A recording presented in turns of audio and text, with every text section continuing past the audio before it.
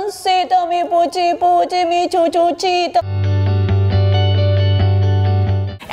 vamos a hablar de aquellas frases, oraciones, palabras que le decimos a nuestros hijos en el día a día para regañarlos, llamarles la atención o simplemente conversando con ellos. Son frases que hemos escuchado de nuestros papás, de nuestros amigos y como son del día a día pensamos que son normales y no nos damos cuenta que podríamos estar lastimándolos, hiriéndolos o afectando negativamente su desarrollo. Ojo, no soy psicóloga ni experta, simplemente soy una mamá que está buscando lo mejor para sus hijos. He leído mucho. Hay frases y oraciones que no las veo tan mal, otras que sí. Cada una tomemos lo que nos funciona y lo que creemos que es adecuado para nuestra familia. Si no haces la tarea te castigo. Si no limpias tu cuarto no puedes jugar. Esto es una amenaza y solamente va a lograr que tus hijos hagan las cosas por miedo. Podemos decirle, cuando limpies tu cuarto, vamos a jugar. Cuando hagas la tarea vas a poder ver televisión. Así verán que hay una recompensa y no todo es una amenaza y un castigo y harán todo por miedo. Estoy decepcionada de ti. ¡Qué fuerte! Pero muchas veces se nos sale de la boca. Nosotros somos todo para ellos.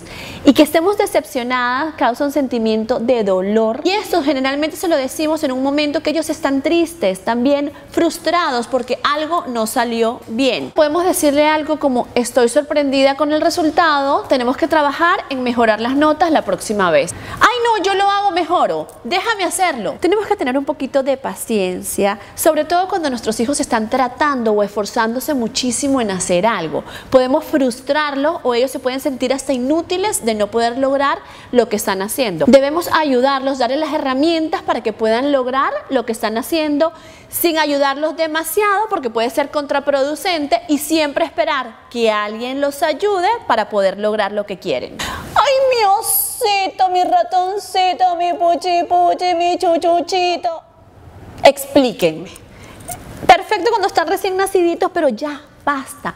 No podemos tratarlos así a medida que van creciendo. Que ellos van a creer de verdad que son un osito, se van a minimizar ante el mundo o van a crear esa identidad. O peor aún, que estén en la universidad y llegue un amiguito y le diga, osito, hola. Los traumamos. Tú eres hombre y los hombres no lloran. Esto es lo peor que podemos hacer con nuestros niños. Estamos impidiendo que expresen sus sentimientos, que sus sentimientos fluyan y así van a actuar el resto de la vida, guardando, guardando, guardando sus sentimientos y explotando de otra manera. Los niños no lavan los platos, las niñas no juegan fútbol, los niños no juegan a la cocinita. No creemos estos estereotipos desde chiquitos porque así van a crecer, eso es lo que van a creer, los vamos a limitar y estaremos inculcando desigualdad de género desde chiquititos. Porque soy tu mamá y punto.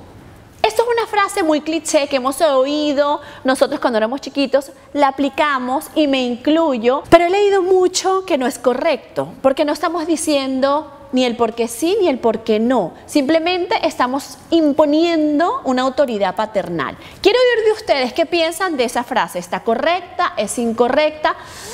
Yo tengo mis dudas, estoy tratando de no aplicarla, pero a veces se me sale. No se olviden suscribirse en mi canal, seguirme en las redes sociales, dejar sus comentarios, dejarme sus likes y nos vemos en el próximo video.